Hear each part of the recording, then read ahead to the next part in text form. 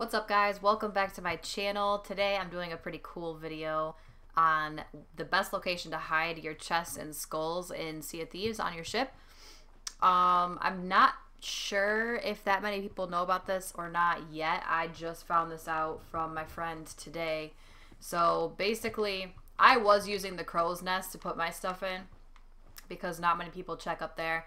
But there's actually a better spot up here to put your stuff on and it's on the sails. So if you come all the way up to the crow's nest and you jump out onto the sail, just be really careful.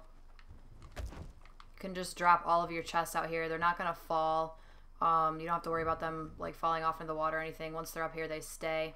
So a lot of people don't know about that, and I feel like if somebody came up on you and they wanted to steal all your shit, if they checked the rest of the boat and there was nothing there, more than likely they would leave. So hopefully this helps. If you guys liked this video, make sure you hit that thumbs up button and subscribe to my channel for more Sea of Thieves content. And I will see you guys in my next video. Bye, guys.